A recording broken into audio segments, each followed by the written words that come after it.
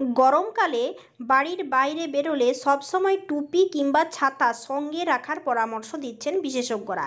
তাদের মতে, সূর্যের অতি বেগুনি রশ্মি চামড়ায় লাগলে ত্বকে ক্যান্সার পর্যন্ত হতে পারে। এছাড়াও দেখা দিতে পারে আরও নানা অসুখ। আজকে আপনাদের জানাব, গরমকালে কালো ছাতা ব্যবহার করবেন নাকি কোনো রঙিন ছাতা ব্যবহার করবেন? কালো রঙের ছাতা সব থেকে বেশি সূর্যের রশ্মি শুষে নিতে পারে।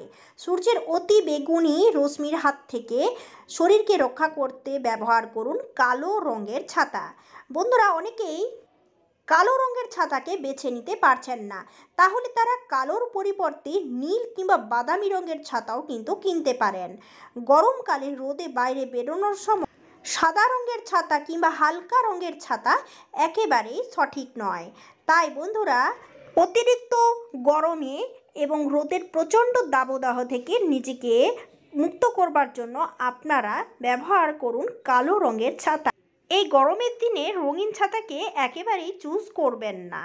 এরপর আমরা আলোচনা করে নেব এই গরমের দিনে কোন রঙের পোশাক সব থেকে আরামদায়ক। কোন রঙের পোশাক আপনারা ব্যবহার করলে আরাম পাবেন? হালকা নীল, সাদা, গোলাপি লেমন কালার, হালকা বেগুনি, আকাশি। এসব রঙের পোশাকই গরমে আরামদায়ক। সবশেষে বলতে হয়, পোশাকে কিছু কিছু কৌশল অবলম্বন করতে পারলে কিছুটা হলেও সহজ হতে পারে গরমের সঙ্গে আপনার লড়াই। তাই এ সময় সাদা বা হালকা রঙের পোশাক পরলে কিন্তু আরাম পেতে পারেন। গরমে কিছুটা স্বস্তি পেতে পরতে পারেন হালকা ধরনের সুতির কাপড়। আপনারা বন্ধুরা পিওর সুতি ব্যবহার করুন, যা সহজেই ঘাম শুষে নেয় এবং পরতেও আরামদায়ক। অনেকেই হয়তো জানেন না, এই সময়ে পোশাকের রঙের ওপরও গরম লাগার মাত্রা নির্ভর করে।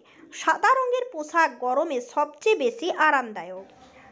কিন্তু কালো রং যতটা সম্ভব এড়িয়ে চলুন। এই গরমকালেও ফ্যাশনের জন্য অনেকেই টাইট ফিটিং পোশাক পরেই থাকেন এবং প্যান্টের ক্ষেত্রেও কিন্তু আপনারা ঢিলে ঢালা প্যান্ট পরবার ব্যবস্থা করুন। অনেক সময় এলাস্টিক দেওয়া কিংবা গার্ডার সিস্টেম প্যান্ট অনেকেই পরেন। এই সময় দড়ি লাগানো প্যান্ট পরবার ব্যবস্থা করুন। এই দেখুন বন্ধুরা, এরকম যদি হালকা আপনি পাতলা গেঞ্জি ব্যবহার করেন, গরমের দিনে ঢিলে ঢালা গেঞ্জি ব্যবহার করেন, তাহলে খুবই ভালো হয়। এমন পোশাক ব্যবহার করতে হবে যাতে করে এর ভেতরে বাতাস চলাচল করে। তাই বন্ধুরা এই গরমের দিনে পোশাকের রঙের ওপর অবশ্যই খেয়াল রাখুন। আজকে আরও একটা নতুন টিপস আপনাদের সাথে আলোচনা করতে চাই। অনেকেরই বয়সের আগেই চুল পেকে যায়। বন্ধুরা বয়সের আগে চুল পেকে গেলে এটা একটা চিন্তার বিষয় হয়ে যায়। আপনি কিন্তু এক্ষেত্রে ঝিঙে ব্যবহার করতে পারেন তারপর আমলকি গুঁড়ো ব্যবহার করতে পারেন। এই ঝিঙে তো আমরা এমনিতেই সবজি হিসেবে খাই, কিন্তু এটা আপনি ব্যবহার করতে পারেন আপনার চুলকে কালো করবার কাজে। কীভাবে এই ঝিঙেকে আপনি কালো করবার কাজে ব্যবহার করতে পারেন? প্রথমে আপনাকে ছোট্ট ছোট্ট কচি ঝিঙে নিয়ে আসতে হবে এবং ঝিঙেটা টাটকা হতে হবে। তারপর খুব বেশি খোসা না তুলে হালকা হালকা করে খোসা তুলে নিন। এই দেখুন, এরপর ছোট্ট ছোট্ট করে কেটে নিন। আমলকি গুঁড়ো আপনারা যদি রেগুলার ব্যবহার করেন, তাহলে আপনাদের চুলের গ্রোথ বৃদ্ধি পাবে এবং তার সাথে সাথে চুল কোনো দিন পাকবে না। কিন্তু আমলকি সবসময় পাওয়া যায় না, গুঁড়ো পাওয়া যায়। ঠিক সেইভাবেই কিন্তু আপনি ঝিঙে ব্যবহার করতে পারেন। কীভাবে ঝিঙে দিয়ে চুল কালো করবেন? প্রথমে ছোট্ট ছোট্ট ঝিঙেগুলো কেটে একটা বাটি নিয়ে নিন এবং বাটির মধ্যে যাতে জল না থাকে, তার জন্য ঝিঙেকে আগের থেকেই ভালো করে ধুয়ে নিতে হবে এবং জলটা শুকিয়ে নিতে হবে। এরপর আপনি যে নারকেল তেল ব্যবহার করছেন চুলে লাগাবার জন্য, সেই নারকেল তেলটা দিয়ে দিন। এটা আপনি দুইভাবে করতে পারেন। এটা কখন লাগাবেন, কীভাবে লাগাবেন, সবটাই আমি আপনাদের বলে দিচ্ছি। ঝিঙেটাকে ছোট্ট ছোট্ট করে কেটে নারকেল তেলের মধ্যে ডুবিয়ে এটাকে তিন থেকে চার দিন রোদে রেখে দেন। তারপর দেখবেন নারকেল তেলের বর্ণ ধীরে ধীরে চেঞ্জ হয়ে যাচ্ছে। এটা একভাবে করতে পারেন। দ্বিতীয়ত বন্ধুরা, আপনারা ছোট্ট ছোট্ট করে ঝিঙেকে কেটে নিন। তারপর নারকেল তেলের মধ্যে দিয়ে কম আঁচে বেশ কিছুক্ষণ ফোটাতে থাকুন। যখন দেখবেন এই নারকেল তেলের বর্ণ কিছুটা চেঞ্জ হয়ে গেছে, তখন বুঝবেন নারকেল তেলটা আপনার প্রস্তুত হয়ে গেছে। বন্ধুরা, এটা আপনারা প্রতিদিন শ্যাম্পু করা চুলে রাত্রেবেলায় শোয়ার আগে ভালোভাবে স্ক্যাল্পে ম্যাসাজ করে নেবেন। তাহলে আপনার চুল পাকবে না। এটা ভীষণ একটা উপকারী তেল। এর সাথে আপনি কয়েকটা মেথির দানা ফেলে দিতে পারেন। দেখুন, প্রথম অবস্থায় ঝিঙ্গেগুলো কেমন ছিল, আর এখন মনে হচ্ছে একটু হালকা হালকা ভাজা হয়ে গেছে।